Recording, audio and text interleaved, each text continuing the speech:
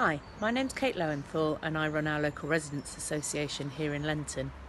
At the beginning of the pandemic, I set up a separate group to support our local community and we now have over 100 volunteers, local residents, local students from Nottingham University and members of the local churches all working together to support people who are in isolation or elderly and scared to go out um, we're doing shopping, collecting prescriptions, or just a friendly phone call to check up on people or knock on their door and have a, a socially distant chat so because people are obviously unable to see family and friends and are, are very lonely at the moment.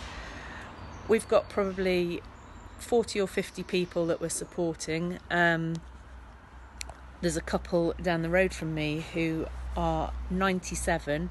The lady's recently come out of hospital having fought off coronavirus, and it's the gentleman's 98th birthday tomorrow. So, lots of neighbours are going to come to their gate again, socially distancing, and sing happy birthday to him to make him feel a bit special.